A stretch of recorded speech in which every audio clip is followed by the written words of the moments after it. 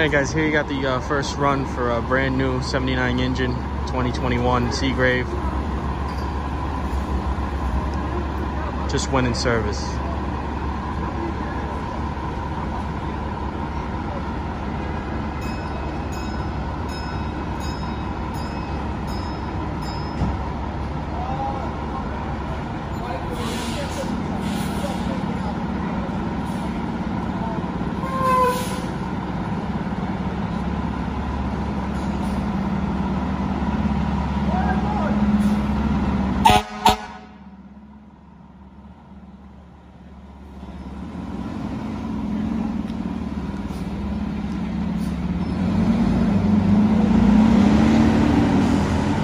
Thank you.